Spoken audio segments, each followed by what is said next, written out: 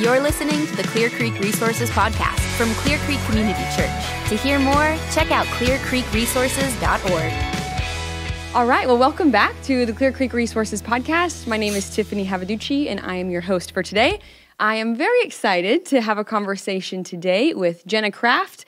Uh, Jenna is part of our women's teaching team here at Clear Creek. She serves students at the 528 campus. Is That's that right? right, yes. Awesome.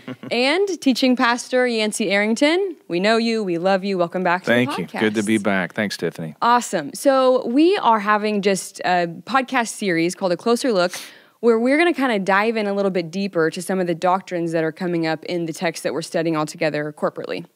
And right now we're in Second Peter.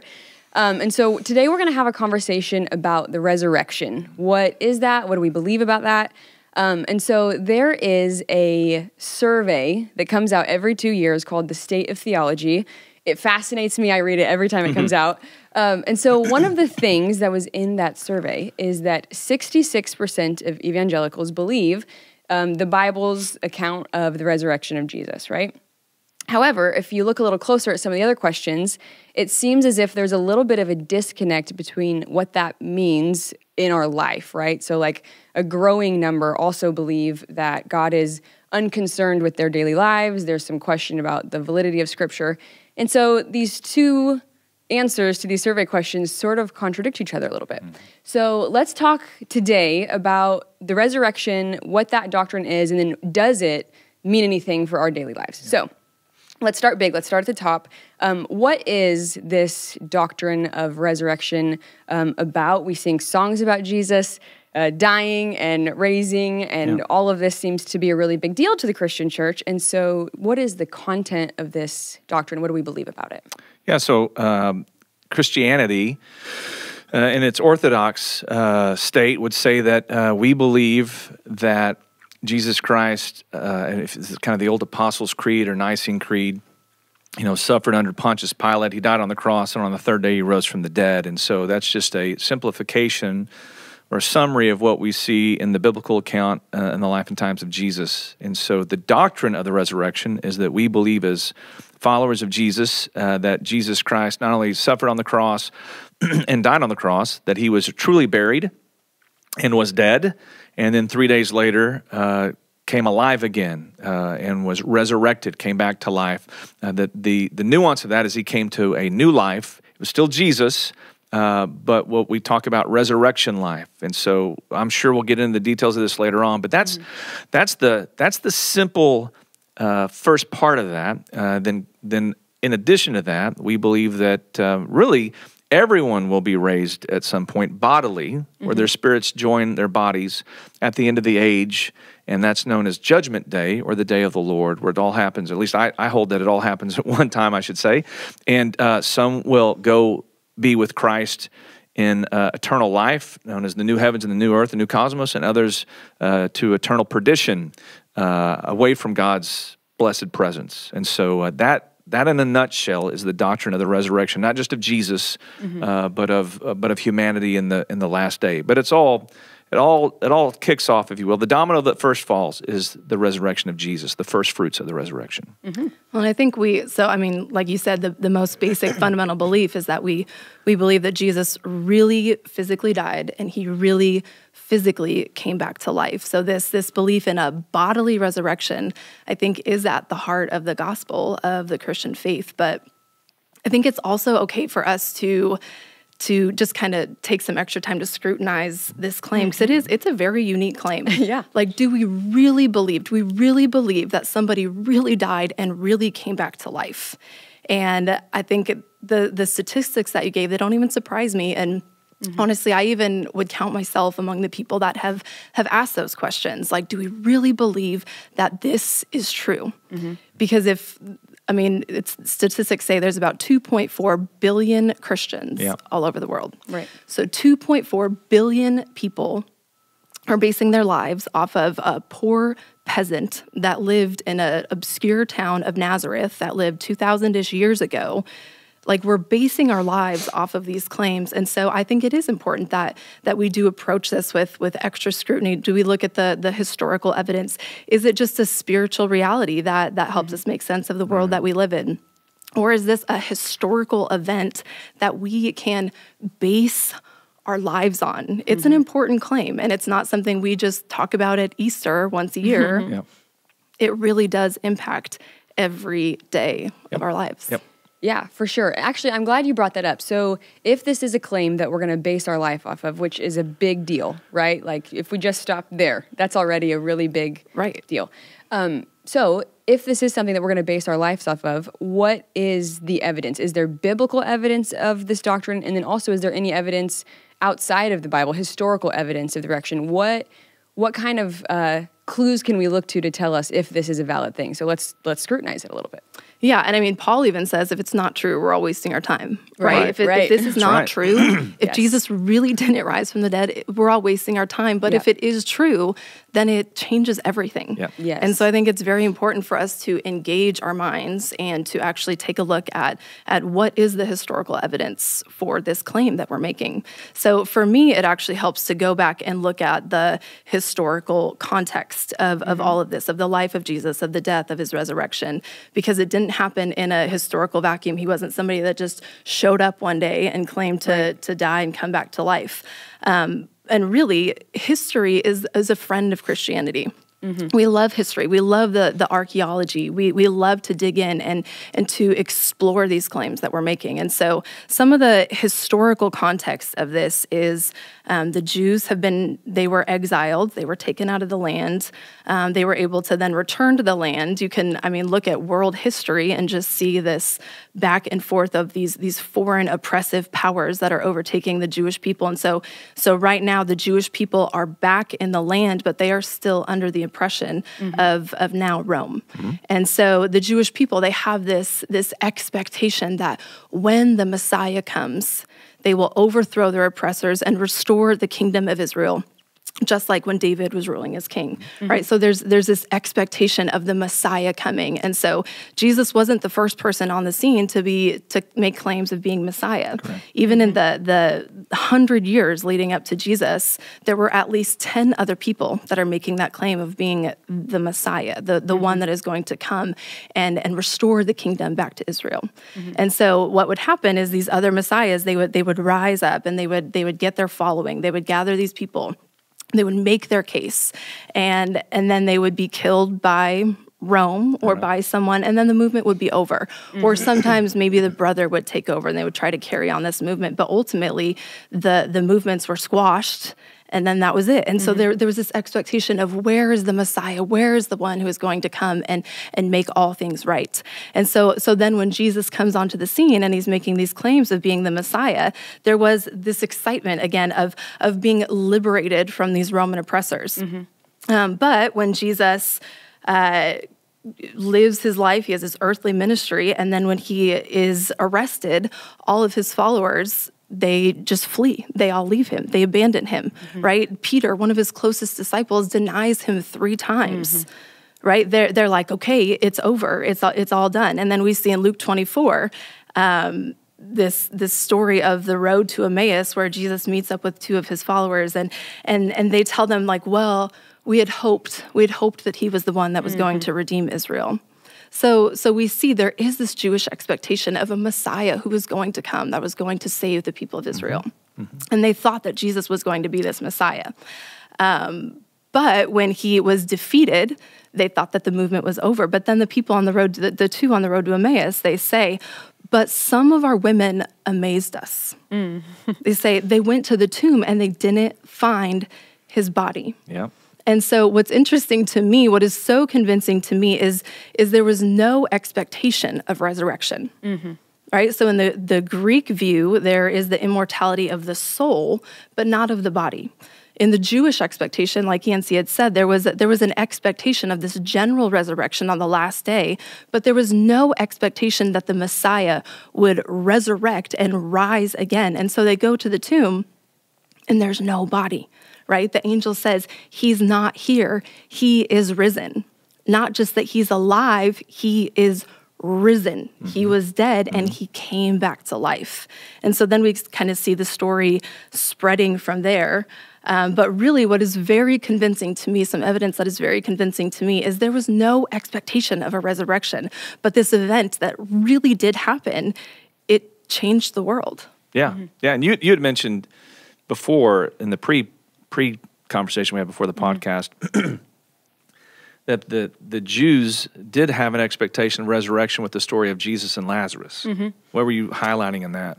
Yeah, I was just saying. So uh, Jesus had this is the this is the Tiffany translation. Sure. okay? uh, Jesus had these uh, friends that were siblings, Mary, Martha, and Lazarus. Lazarus uh, dies, and Jesus takes his time getting there, right? And when he alludes to Martha that he's going to be raised again, Martha's like, "Yeah, of course, on the last day, right?" Yeah. Right. They were expecting this resurrection to come at the end of time. Um, However, that's not exactly how it played out. So I think the unexpected part is that this resurrection is Yeah. happening sort of in the middle of the story, right? There's even in the um, in Daniel 12, same sort of thing, right? There's this um, idea of resurrection um, at the end of Yeah. the age, and so yeah, things things went a little bit differently than expected. Well, just mm-hmm. just the fact that Jenna takes time to to walk us through really beautifully the expectation theologically for the Jews of Jesus' day was they weren't anti-resurrection. Mm-hmm. They were anti-resurrection on any day but Judgment Day. Mm-hmm. Right. So you know, even we have Mary and Martha going, "La- you know. We know Jesus, uh, we know Lazarus is going to get resurrected. He's a righteous man. He's of Israel. We'll just see him on the last day. And then Jesus just drops that incredible line you know, I am the resurrection and the life. You know, he. who bel- So, uh, the fact that Jesus does something earlier than everyone else expects, that really was the curveball. And but when you you think about like, what's the historical evidence for it? So there, there, there are, there are non-Christian writings like Josephus, uh, Tacitus, that mention uh, the death of Jesus, at least the death of Jesus. And so, uh, I don't, I don't think that there is any scholar out there that said uh, that Jesus did not die. They all believe that Yeshua or Yeshua of, of Israel of Nazareth uh, was uh, some some Jewish uh, teacher slash rabbi that was convicted by the Romans uh, and was crucified and executed. I like that Jenna talks about that the first people that see Jesus, or at least an empty tomb, not see Jesus, uh, although they do later, but see an empty tomb, are two women which, uh, as N.T. Wright points out, scholar N.T. Wright, whose book, uh, The Resurrection of the Son of God, is probably the, what you would say in, a, in an academic term, the, the classicus textus of a good apologetic and defense of the resurrection of Jesus.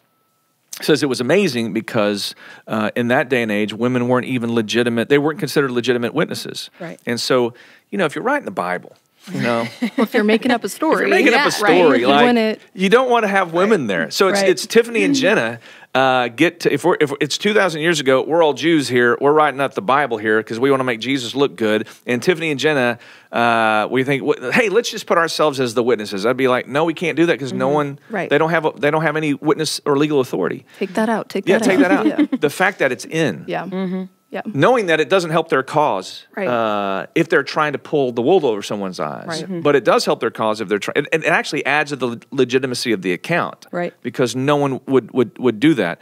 Um, in fact, uh, I, I I think you look at uh, the things I have noted here, and, and to be fair, let me give good attribution. Uh, Shil, uh, Neil Shenvi, who is a PhD research scientist out of Yale, uh, compiled just a lot of different uh, scholarly articles about the evidence historically for the resurrection of Jesus from different scholars and theologians, and, and not necessarily Christians, by the way, but even Jewish ones. Uh, and in fact, I'll read you one quote by Jewish New Testament scholar Geza Vermes. He says, uh, he concludes, quote, In the end, when every argument has been considered and weighed, the only conclusion acceptable to the historian must be that the opinions of the Orthodox, the liberal sympathizer, and even the critical agnostic alike, and even perhaps of the disciples themselves, are simple interpretations of the one disconcerting fact, which is, namely, that the women who set out to pay their last respects to Jesus found to their consternation not a body, but an empty tomb. Now, the fact that it's empty, some, some, someone, some people would say, like, okay, we get that he died, but why is it that he's empty such a big deal?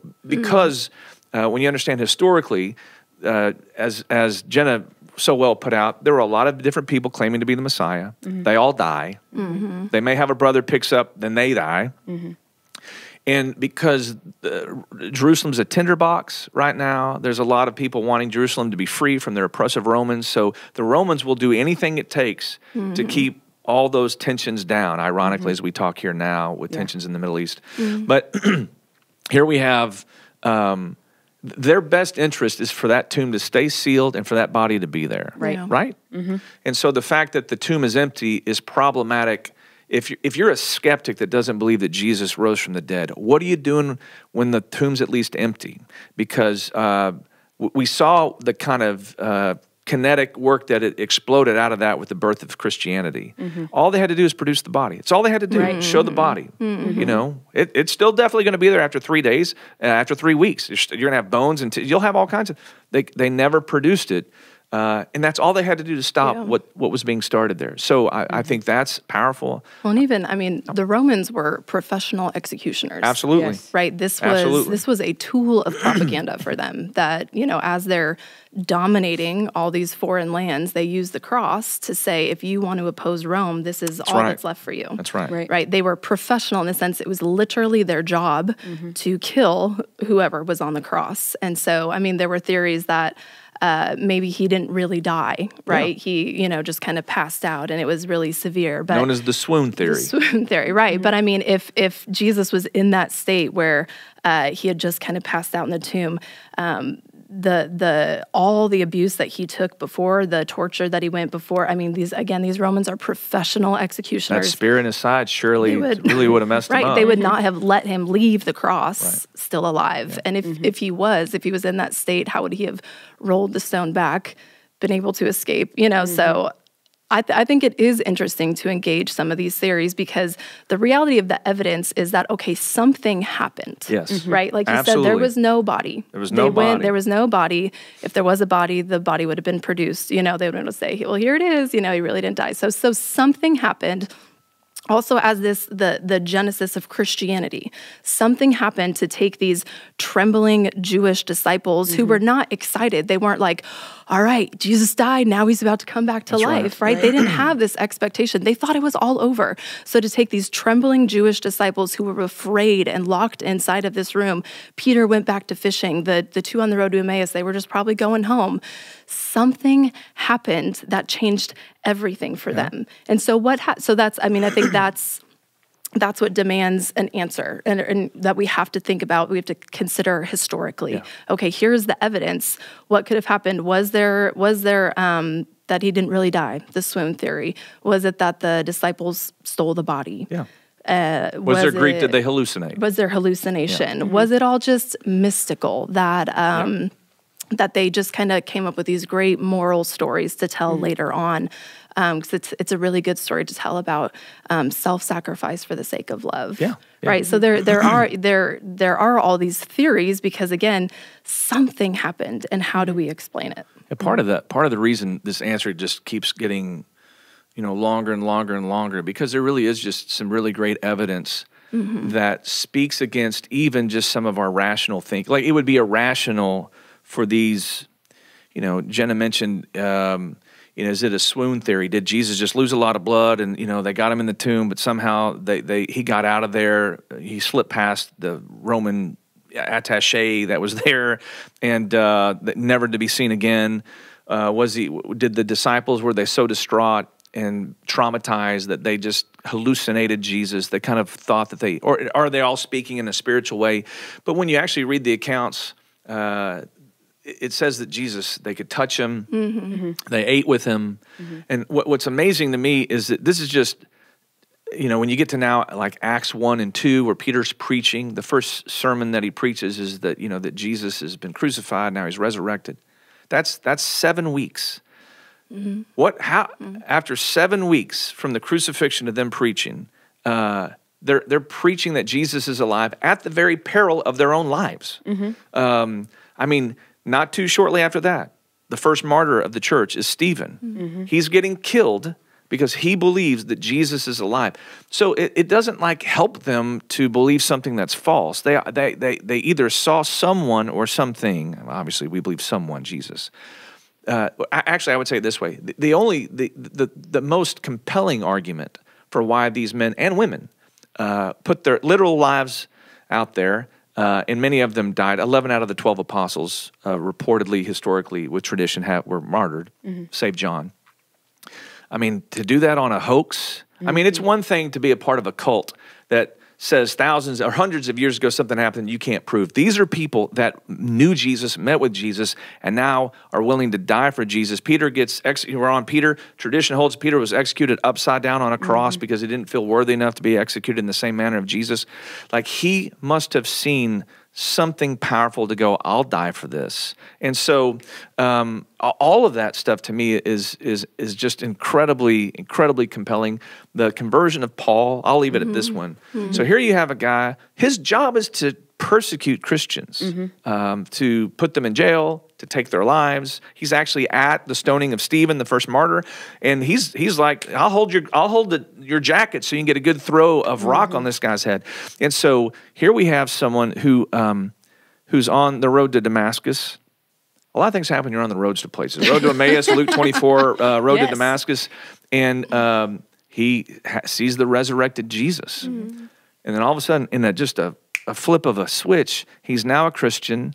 He's um, he's he's doing the exact opposite of what he intended to do at the peril of his own life. So now he's got to run around in dark places because instead of attacking people for Jesus and, their belief in his resurrection, he's actually preaching about Jesus and his resurrection those things don't add up if they're hallucinations, if they're wishful thinking, or you know this, that, or the other. So it's those kinds of things that we put together, and we just think.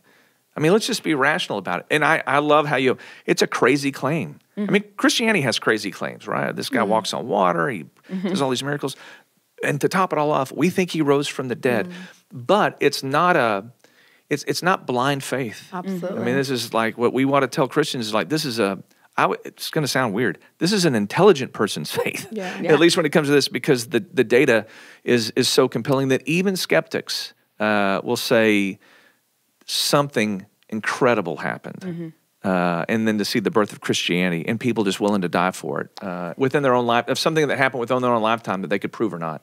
uh, seems to seems to go with Jesus really did rise from the dead. Yeah, that's a great point, especially the, the transformation of the disciples. I mean, speaking of Peter, he was so afraid uh, that he denied to a little girl Oh, for that, sure. that he that he knew Jesus to someone who was willing to be martyred for Yep. him, right? And and speaking of Paul, uh, he even gives evidence to the people who are still alive that could sort of back up his claim, right? right. If, don't take my word for it. Go ask the Yeah. 500s who, who saw him. Absolutely, and, uh, and just I know we can go to the next question. Uh, No, Let me it's just okay. end with this, uh, in at least with this section. So uh, there's a guy. He's been on the news quite a bit, not recently, but over time, named uh, Reza uh, Aslan, which I always thinks an ironic last name. He's a he's a Muslim author, and he argues that it's it's really quote unquote impossible to know uh, what happened after Jesus' death, and yet uh, and he's not a Christian. He's a Muslim. But he recognizes the significance of everything that's happened as a, as a story. And here's what he says, and I'll, I'll just, it just was powerful to me. He says, One could simply discuss the resurrection as a lie and declare belief in the risen Jesus to be the product of a deludable mind. However, there's this nagging, this is, this is a skeptic. I mean, this is a non believer. However, there's this nagging fact to consider. One after another of those who claim to have witnessed the risen Jesus went to their own gruesome deaths, refusing to recant their testimony. That is not in itself unusual. Many zealous Jews died horribly for, for, for refusing to deny their beliefs. But these first followers of Jesus were not being asked to reject matters of faith based on events that took place centuries, if not millennia before. Mm. They were being asked to deny something they themselves personally, directly encountered. And that's something that Reza has a hard time getting over. Mm-hmm. And I, I appreciate the integrity of that because Right. it's like, well, you know, Christians aren't crazy to believe that the resurrection is real. And I would argue everything Christianity stands or falls on uh, depends on that tomb being empty and a real Jesus coming out of it. But that's a long answer. and if you want to add to it, go ahead. go But, well, I no, mean, I mean, what I was just going to say is what I really appreciate about this conversation is that as Christians, we don't have to reject science or history. Correct. And I feel like we have honestly just scratched the surface of sure. the historical evidence to validate the the resurrection of Jesus Christ. Yes. Mm-hmm. And so I appreciate that that that we're encouraged to engage. We're encouraged to mm-hmm. ask these hard questions because again, if it's not true, we want to know that. Absolutely. Mm-hmm. We don't want to base our lives off of a lie. And so it's not like, well, I guess we just have to believe that someone died and someone came back to Not life. wishful thinking. Right. It mm-hmm. is. It is engage the hard questions. It's ask the hard mm-hmm. questions. Examine the evidence. And so again, I feel like we've just barely scratched the, sur- the surface. And so if you are, if anyone's interested, there's a ton of awesome resources out there. Um, but just to know that that this is a good thing to do as followers of Christ, mm-hmm. and there is a lot of really wonderful and helpful historical evidence, not to answer every question that we'll ever have, Right. but really good, helpful answers to some hard questions. Mm-hmm. So much evidence, so much material that it takes this long to answer that question, and that's mm-hmm. the short answer. Yeah. I mean, I recommended Yeah. N.T. Wright's The Resurrection and the Son of God. I, I read through most of it. It's this thick, and there are tons of books like that. So.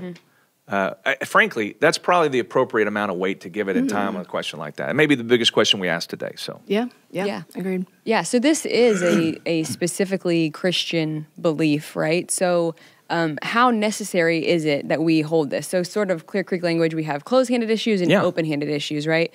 When it comes to certain theological beliefs, some of them we're not willing to budge on, they're non negotiable. And some of them we can hold with an open hand, we can sort of have a difference of opinion, we can all do this church community life together. So, what kind of doctrine is this? Is this essential? Is this open handed? Um, can I just believe that Jesus was a great teacher? Do I have to believe that he, um, I can, maybe I can even believe that he died for me, but do I have to believe that he resurrected bodily? What, what kind of issue is this, would you say?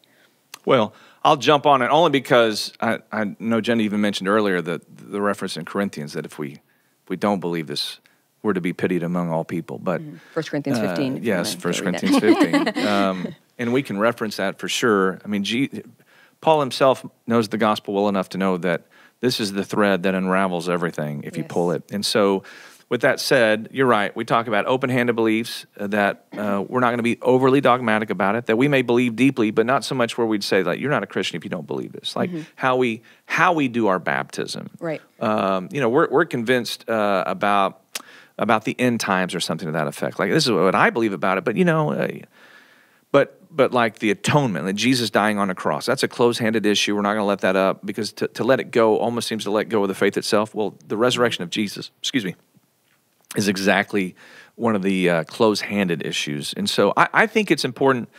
And I just was trying to list like what off the top of my head, if the resurrection did not happen, what what what doctrines would that affect? And I'm not too sure it doesn't affect every one of them. Uh, but a good way to think the, the things that off the top of my, I mean, even creation for that matter, the, the renewal of it all. Uh, I think about the divinity of Jesus.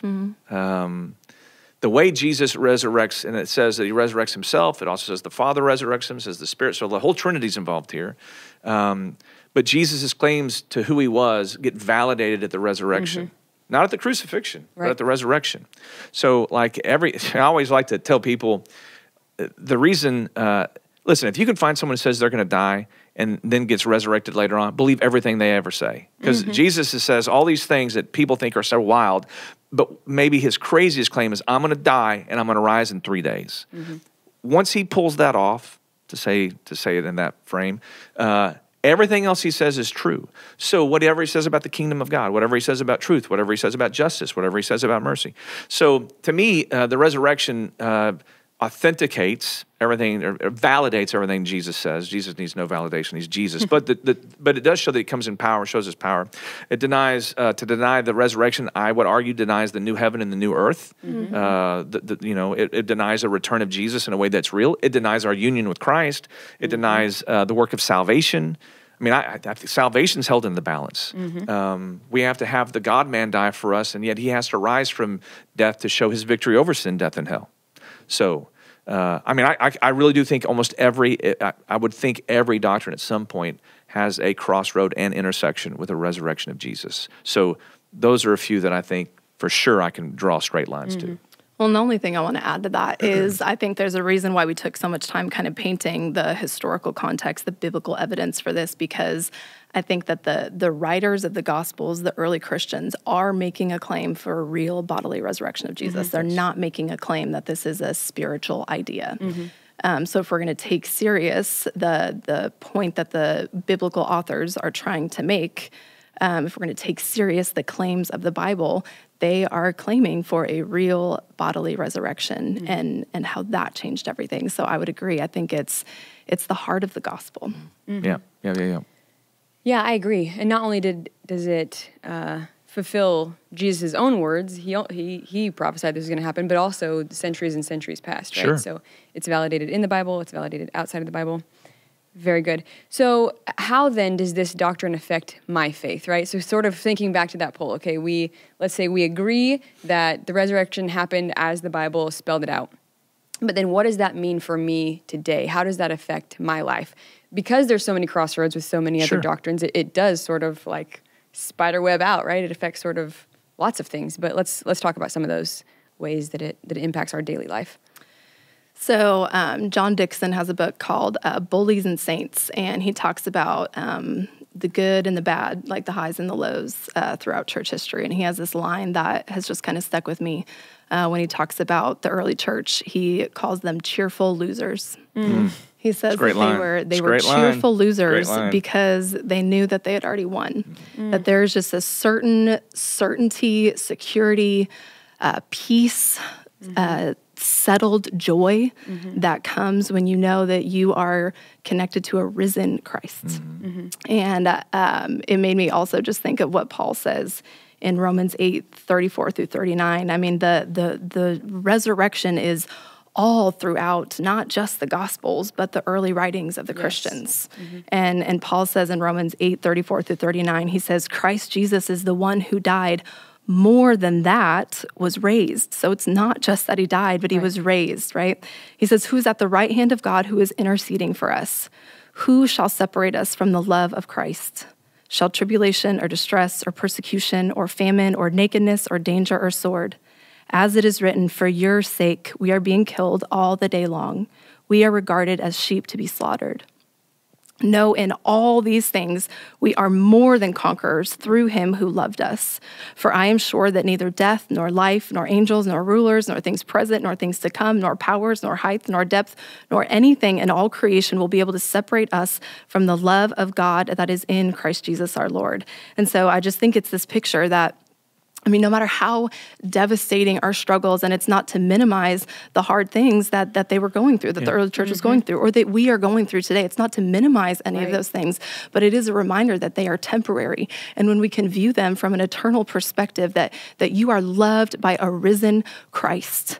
That I think it just changes our perspective on on everything. It is it is our identity that we are new creation, and it is the power for us to live in in the mess of this world.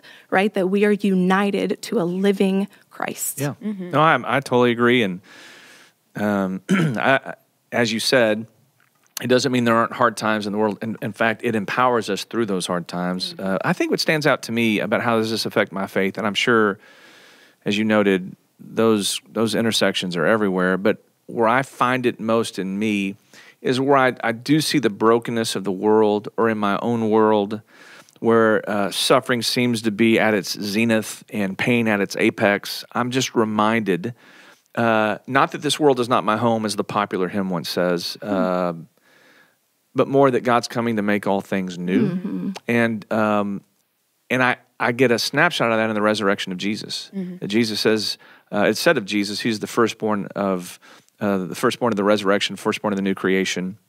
Um, he's the first fruits, I should say. And and if that's the picture, here we have a, a resurrected Jesus who who looks like Jesus, uh, talks like Jesus, but he's he's different. Uh, in other words, he's been built now as a human being. He's now uh, built for the kingdom of God in its fullness. To know that um, so much so that he sends right to heaven, sits at the right hand of the Father. You know, the place of power. To know that that that is, if if if I can use this language, uh, that is our older brother who goes before us, and uh, it's powerful uh, to to think about. Um, it buoys the heart when you're when you're really at a low place, going, you know, things can get bad, but they get get so bad that they eclipse this wonderful truth that. Um, He's Jesus' resurrection is the shot across the bow that says, uh, "I'm coming to make all things new." And for those who believe upon me, as he says back to the, the scene with Lazarus, his family, uh, do you believe I am the resurrection and the life? And so, uh, that's for me is one place where Jesus' resurrection is where the how the rubber of Jesus' resurrection meets the road in my own heart to know like you know what? Uh, as Jesus has gone so will one day I go. And uh, and so will we all uh, in this way where we get uh, you know we get beat up in our sanctification uh, it goes in fits and starts but one day we'll be glorified as he is. And in in a in a realm that is so wonderful Paul can't even tell you about it because he gets caught up in a vision of heaven. He's like, it's too good. I can't tell you because you'd want to leave. And and so amazing that John the Revelator can only speak about it in symbols and signs. It's that you know, and all we get at the very end is uh, there's no tears, you know, sadness no more, uh, and all these ama- no more chaos. Uh, and yet, uh, the one who is there is, is the bodily resurrected King Jesus. So, man, that, uh, you can talk about this forever, but for me, that that that's how that doctrine of the resurrection of Jesus. I mean, that's one major way it does it, and, and really the second one is whenever I have doubts, and I have doubts. Whenever I, I think most people do. Whenever I have I have doubts about, gosh, is this, Lord, is this all real? I mean, I sometimes I have my heart wavers. I always go back to an empty tomb and resurrected Jesus. I'm like, mm-hmm. that happened. Mm-hmm. That happened. And um, you know what, guys? You know, people ask me questions in systematic theology or something that are hard to answer. You know, what about pain in the world? Why does God do all that? I don't know. All I know is, is ultimately Jesus came out of that tomb. And uh, so whatever he says must be true, and he must be good, and he must be God. And that's why the resurrection is so powerful for me, uh, at least in my life at this point. Those are some of the touch points with my own heart and journey uh, with with how that how that doctrine affects my faith.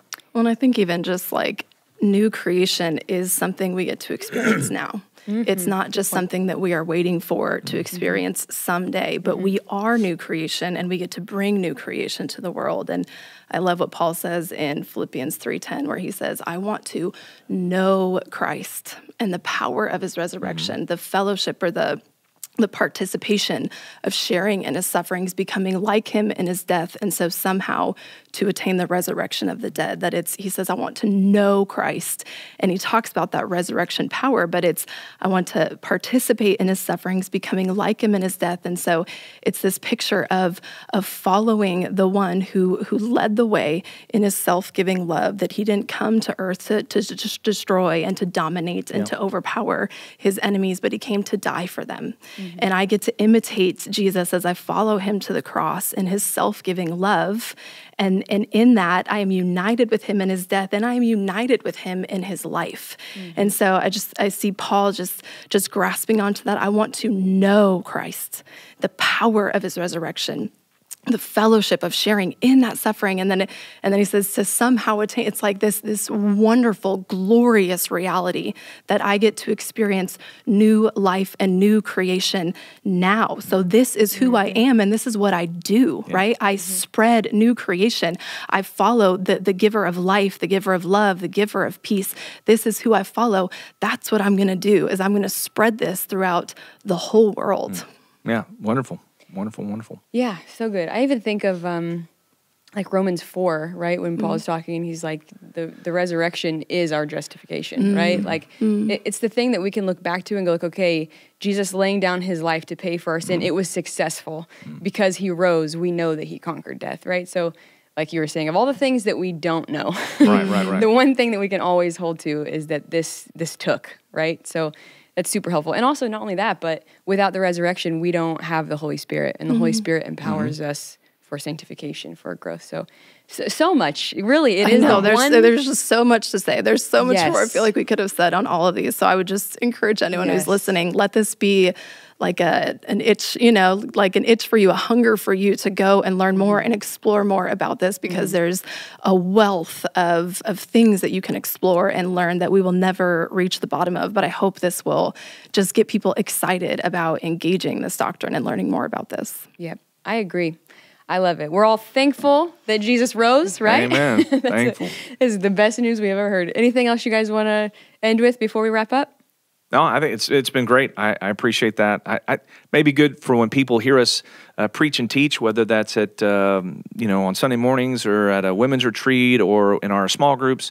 When we talk about the gospel and we talk about the power of the cross, uh, the cross is kind of uh, a word that that's all encapsulating of the gospel. So when we talk about the cross, we don't just mean the death of Jesus. We actually have bookended the resurrection of that as well. So, and, and I think that's what the writers of the Bible do quite often. Because some people say, I mean, you guys talk a lot about the cross, but what about Jesus' resurrection? Well, for us, it's all the same thing. And so it just becomes kind of the touchstone when we say the cross. We mean who Jesus is and what he's done. And I would even argue that also includes his return, which is a whole nother topic for a whole nother Yep. day. But uh, but I'm I'm grateful. Like you know the. Uh, like the tombstones of old would simply say, awaiting the resurrection, and so uh, that that's that's where we're at now.